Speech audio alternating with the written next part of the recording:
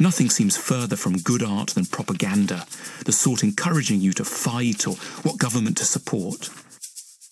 But one way to think about art is that it is a sort of propaganda, in the sense of a tool that motivates and energizes you for a cause, only it's propaganda on behalf of some of the most important and nicest emotions and attitudes in the world, which it uses its skills to make newly appealing and accessible. It might be propaganda about the simple life, or about the need to broaden one's horizons, or about a more playful, tender approach to life.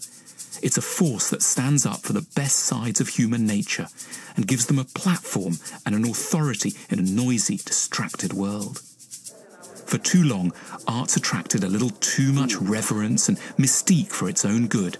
In its presence, we're like someone meeting a very famous person. We get stiff and lose our spontaneity. We should relax around it as we already do with music and learn to use it for what it's really meant for as a constant source of support and encouragement for our better selves.